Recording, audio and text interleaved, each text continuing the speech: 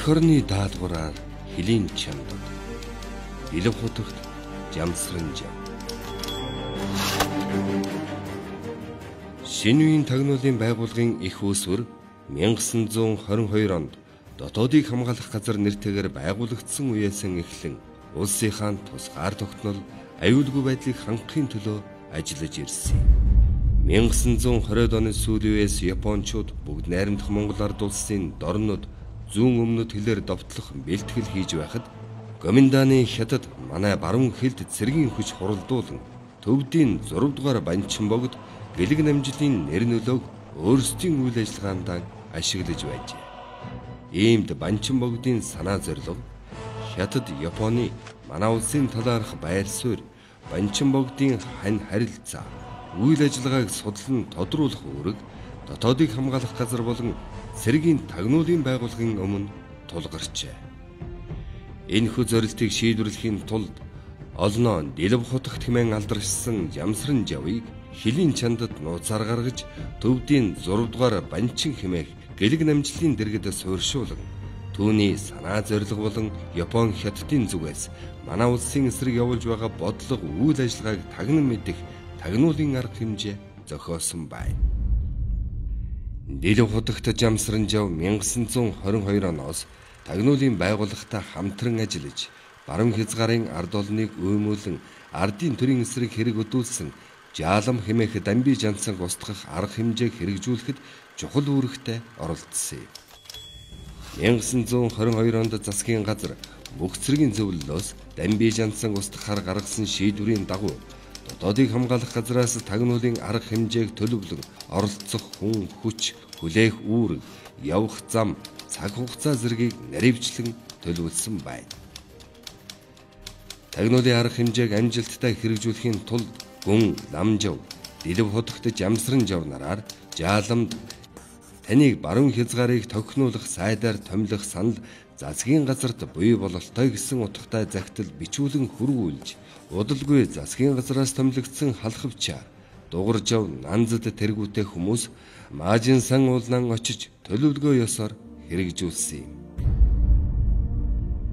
Дотоодыг хамгаалах газраас Жамсран жавыг 5 настайгаасаа дэлвийн хувилгаан дүрээр тодорч хийдэд 40 гаруй жил шавилан сууж буддын шашны боловсрал хүмүүжил болсон төрийн хэрэгм ямбнаас хуваалцаж явсан тамгагүй хотогт бурхан шашны томоохон зүтгэлтэн нэр нөлөө бүхий хотогт лам учир банчин богдод итгэгдэх үндэслэлтэй хэмээн үдсэн ба мөн дээд ангийн ламын хувьд мал хөрөнгөө хураалгаж Эрдэнэ давгийн 38-ын хэрэгт холбогдсон баривчлагдж 2 жил тэнсэн харгалзах ялтаа суллагдсан. 1928 онд дотоодыг хамгаалах газраас банчин богдод мөргөхөөр явах зөвшөөрөл хүссэн боловч хойшлогдсон зэрэг асуудалтай нь холбогдуулан түүнийг Монголоос оргон ирэв гэсэн халахвчаар банчин богд руу явуулах төлөвлөгөө зохион хэрэгжүүлэхээр болжээ. Дэлв хотогт даалгавар ёсоор 1931 оны 2 дугаар сарын 26-ны шөнө Сойвын Санжин гиндэн лам намжил гүнчин даваа шижир нарын хамт гарч явсаар Дорногов аймгийн Өлгийн хийд дээр очиж тэндээс өөрийн шав содном даржаа газарчнаар дагуулan нутгийн хэлийг модон овоо гэдэг газраар нэвтрэн гарчээ. Түүнийг ийхүү явхад дотоодыг хамгаалах газраас 1931 оны 2 дугаар сарын 25-нд Үүнийг үзүүлэгч шижир болвоос таван хүний хязгаар нэвтрүүлэхээр яваа нь үнэнтэй тул энэхүү хуудас шийдхэн олгов. Тохиолдох ангийн тэргүүлэгч үүнийг үзээд биеэр явж хязгаар нэвтрүүлэн гаргаваас зохин хэмээснээс үзэхэд тусгай даалгавартай гарсны нэгэн нотлогоо юм.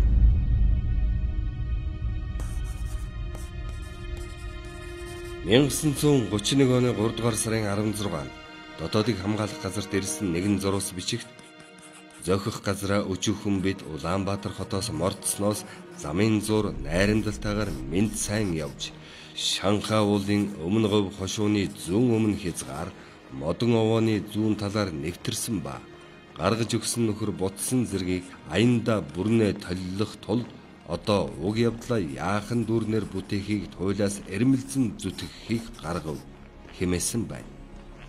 Дил бутагтыг хил давуулсны дараагаар Монгол өвөр Монголын нутагт болон Монголоос өдрөн гарсан иргэдийн дунд түүнийг Эрдэнэ давгийн 38 хэрэгт шийдэхэгдээд эх орноос оргон гарлаа хэмээн зарласан нь Эхэн үедээ хүмүүст өнөмшлийг төрүүлсэн халахвч болсон хэдий боловч хожим цаг үеийн ээдрет нөхцөл байдлын улмаас энэ халахвч нь жинхэнэ оргодол болгон хувиргажээ. Хэл гарсны дараа дэлгэв хотогт улаан цавын чуулганы дунд гүний хошууны ноёнтой учран оргож яваа байдлаа мэдүүлэн хэлж зөвшөөрлийн бичиг аваад дархан бэлийн хошуунд очимогц гаарамт шарвтай танилцсан улмаар бат хаалгын сүн дээр суурьшжээ. Батгаалганд байхдаа сонид ван болон Япончуудтай ойр дотн харилцсан хурал номын ажил эрхлэн амьдарч эхэлсэн байна. 1932 оны 6 дугаар сарын 28-нд Бээжин хотноос Сойвон гинтэнтэй очиж Банчин богдтой уулзан мөргөж түүний хамт Нанжийн хотноо болох хуралд очиж халахын тухай асуудал хэлэлцэх төлөөлөгчөөр сонгогдсон тэдний итгэлийг олж үүргэм биелүүлэх ажилд орж эхэлсэн байна. 1934 онд Япончууд Шилийн голд орж ирэхэд Илв хотогт Өвөр Монголын тэргүүн ноён Дэмчиг Донров Ванг түшиглэн Монголын засгийн явдлын зөвлөлд орж улс төрийн үйл ажиллагаанд оролцсон Японы цэргийн эрхтнүүдтэй уулзаж, дотн харилцаж, хятад Өвөр Монголын аль нутагт дураар зорчих тамга бүхий эрхийн бичгтэй болжээ. Улмаар Нанжингийн засгийн газрын хууль байгуулах хорооны тэргүүлэгч Банчин богдын яамны Монгол хэргийн эрхлэгчээр томилогдсон ажиллажээ.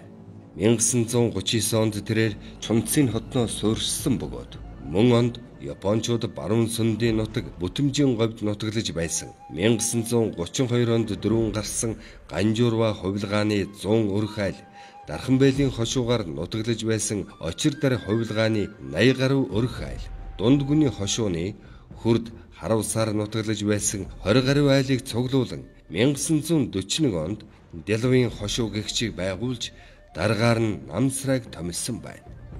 Япон хятадын зүгээс Дэлв хотогтын нэр нөлөөг ашиглан халахын орогдлуудаар хошуу байгуулсан нь тус улсын эсрэг тагнуулын бааз суурь болгон ашиглах нөхцөлийг бүрдүүлэх зорилготой байсан бөгөөд Дэлв хотогт тухайн хошуунд удаан суурьшаагүй байна. Дэлвийн хошууны зохион байгуулалтын талаар 1930-ад оны ихээр бүгд найрамдах Монгол ард улсаас өвөр Монголын нутагт дөрвөн гарсан ардуудын болон Дэлвийн хошууны засаг захиргааны зохион байгуулалтын талаар тагнуулын ерөнхий газрын тусгай архивд хадгалагдаж буй Ганжуурва хувилгаан хэмээх цэрэнгийн мэдүүлэгтэй. 1930 онд гадаадын дунд гүний хошуунд өөрийн гэр хөрөнгөөр оргон гарч 1931 оны 100 бат хаалга дээр очиж Банчин богд Дэлв худагт нарт мөргөж улмаар халахын Дүшэт хаан аймгаас оргож гарсан 100 гаруй айл өрхийн өмнөөс Банчин богдод мандал өргөж шавьд оруулан Түшэт хан Балдан засаг ламын гэгэний хошуудаас оргож гарсан айл өрхүүдийг Банчин богд Дэлв худагт нараар толгойлуулсан хошуу нэртэй захиргааг байгуулалтсаж 1939 он хүртэл ийм зохион байгуулалтаар ажиллаж ирсэн бөгөөд Гэтэл 1939 оны эхээр өвөр Монголд Япон улс орж ирэхин зэрэгцээгээр Дэлв хотогт очир дээр тэргүүтээ угтан тосож жинхэнэ Дэлв хотогтоор толгойлуулсан хошууг баруун сүндийн хошууны Банжиан буюу Ханхүү хэмээх газар байгуулахад очир дээр бид хоёр хошуу амбан болж Хошууны хэмжээгээр 3 сумтай, сум бүр 5 багтай зохион байгуулалтыг хийж 1945 оны байлдаан эхлэх хүртэл ажиллаж ирсэн хэмээн өгүүлжээ. 1945 оны 7 дугаар сард бүх өрхийн тэргүүлэгчид Дэлв аймгийн захиргаан дээр цугларч хурал хийж Дэлв аймгийг татан буулгаж баруун сүнэт хошуунд харьяа ялуулах болжээ. Чөлөөлөх дайны үед улсыг аюулаас хамгаалах байгууллагын гүйцэтгэх группүүдийн нэг үүрэг нь 1930-ад онд эх орноос нь дөрвөн гаргастыг буцаан авчрах байсан бөгөөд 1945 оны 8 дугаар сард баруун сүндэд байсан халах 500 гаруй өрх айл нэгэн зэрэг хил давж Дорногов аймгийн Эрдэнэ сумын нутагт нүүдлэн ирж хүм малын тооллого явагдаж дотоод явдын яамнаас 20-оос дээш насны бүх хүмүүсээс байцаалт авч Дорногов аймгийн Иххэд Харайрыг их жаргалан сумуудад тараан суурьшуулснаар Дэлвийн хошуунд харьяалагдж байсан ардууд их нутагтаа эргэн ирсэн байна. 1938 оноос эхлэн Дэлв хотогт дотоодыг хамгаалах газраас үндсэндээ холбоогоо таслан хөнд ирч хятадын гүн тийш амьдран суух болжээ. Түүний дэргэд болон түүнтэй харилцаа холбоо барьж байсан зарим мэдээлэгч тагнуулчид түүнийг урвсан өөрсдийг нь элдвэр сэжгэлсэн Япон Америкийн тусгай албанд элсэгдэн ажиллах болсон гэх мэтийн утга зөрүүтэй мэдээг дотоодыг хамгаалах газарт өгч байжээ. Мөн дэлгэв хутагтыг дагалдан явсан хүмүүс түүний хувийн амьдрал болон шашны асуудалд нь оролцож зааж зааварлах болсон. Гүн нэрээр ажилласан мэдээлэгч нууцаан задруулсан. 1937-оос 1939 онд Монголд их хэлмэгдүүлэлт болсон зэрэг нь дотоодыг хамгаалах газраас хөнд ирэх шалтгаан болсон бололтой. Түүнчлэн түүнд үүрэг даалгавар өгч явуулсан хүмүүс 1937-оос 39 онд хэлмэгдэж үгүй болсон. Түүний тагнуулын ажиллаар явсан үнэн шалтгааныг мэдэх хүнгүй болж анхны оргодол хэмээх нэр нь туйлын үнэн болж хувирсан зэрэг ээдрét нөхцөл шалтгааны улмаас эх орондоо эргэж ирэх боломжгүй болсон байна. Дэлгэв хутагтыг түшгэлүүлэн сууршуулах, түүнтэй холбоо бариулахаар хүмүүсийг нэг биш удаа явуулж байсан боловч ямар ч үр дүнд хүрээгүй бөгөөд Харин нэг удаа холбоо бариулахаар очсон хүн Японы тусгай албанд баригдсныг соллуулан буцах боломжийг нь бүрдүүлэн өгч байжээ. Япончууд 1942 онд Дэлгэв хотогтыг төвдөд явуулж 9 дугаар богдыг тодруулах ажилд ашиглахаар төлөвлөсөн байна. Төөнийг Хонконгд очиход Английн тагнуулынхан мэдж, Гоминданыханд мэдэгдснээр Чунцинд мэхлэн аваачжээ. Тэнд очиод Чанкашигийн засгийн газарт зөвлөхөөр ажиллаж байсан хуучин танил Латимортой хамт сууж Гоминданы улс төрийн зөвлөлийн зөвлөхөөр ажиллах болжээ. Ийхүү тэрээр Гоминданы засгийн газраас зөвшөөрөл авч 9 дугаар богдыг тодруулах ажлаа үргэлжлүүлэхээр төвдөд очисон боловч төдийлөн итгэх гаргалгүй өвөр Монголд буцаж ирсэн байна. Дэмчиг донроо Ван 1942 оны сүүлийн хагасаас өөрийн 3 дахь хүү Очирбатыг Живзэн дам хотогтын ховлгаан болгохыг Далай ламаар хүлээн зөвшөөрүүлэхийн тулд Дэлгэв хотогтод 70 мянган юан өгч ласт явуулахаар шийдсэн байна. Дэлгэв хотогт энэ мөнгийг Бээжин суга Английн элчин сайдын яамаар дамжуулан төвд рүү гуйлаад өөрөө чуулалт хаалгаас гарч хөх хот бугад хөхнүүрээр дамжин төвдийн нийслэл ласт очжээ. Ингээд төвдөд хэдэн жил ажилласан боловч үр дүнд хүрээгүй тул Чунцсинд дахин буцан ирж дахин Чанкашигийн дэргэд ажиллах болжээ.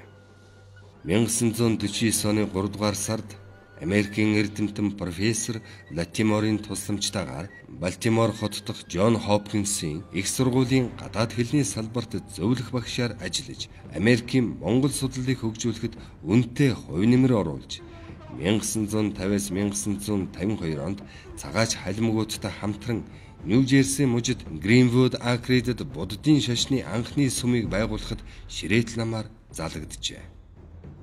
Үүнээс хойш Дэлв хотогт нь тус сүмд шашны ажил эрхлэхийн зэрэгцээ өөрийн улс төрийн дуртатгал намтрын талаар тэмдэглэлүүд бичих болсон байна. Тэрээр 1965 онд Америк нэгдсэн улсын Нью-Йорк хотод нас баржээ.